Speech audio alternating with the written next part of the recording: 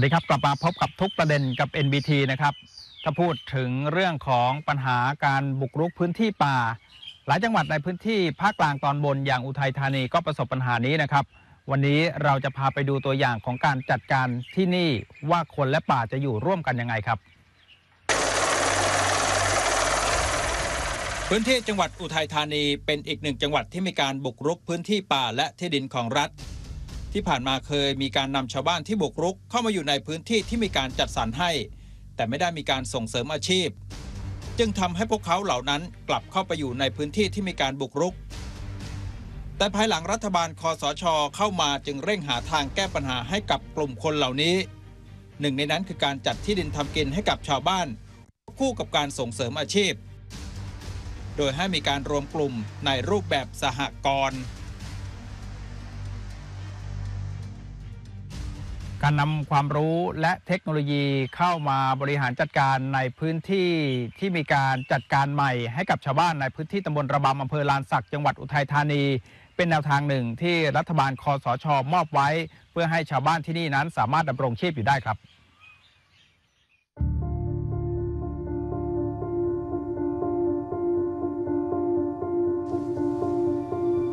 โรงเลี้ยงโคเนื้อด้านหลังสหกรณ์การเกษตรลานสักจังหวัดอุทัยธานี และรูปแบบการจัดการสหกรณ์ที่นี่ จะถูกนำไปใช้ที่สหกรณ์ปฏิรูปที่ดินระบำซึ่งเป็นสหกรณ์เกิดใหม่ เพื่อให้ชาวบ้านที่อยู่ในกลุ่ม รู้จักบริหารจัดการสหกรณ์โดยมีส่วนราชการคอยเป็นพี่เลี้ยง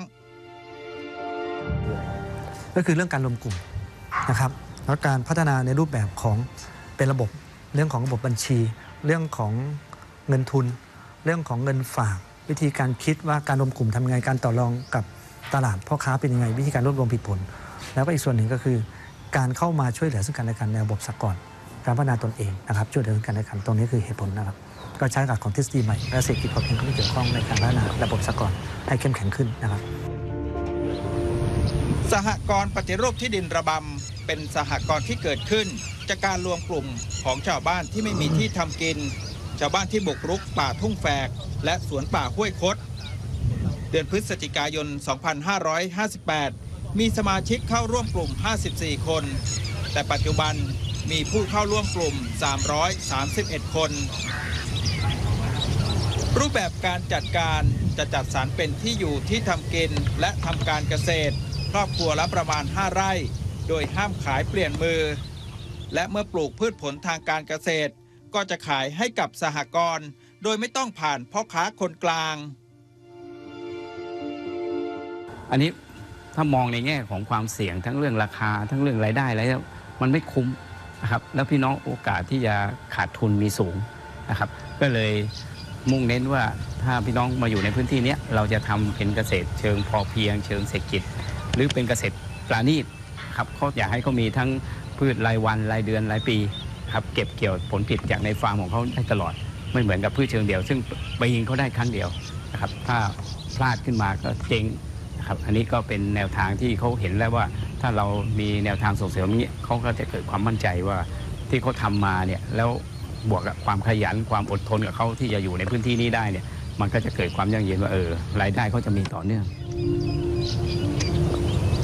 สหกรณ์ปฏิรูปที่ดินระบำอำเภอลานสักจังหวัดอุทัยธานี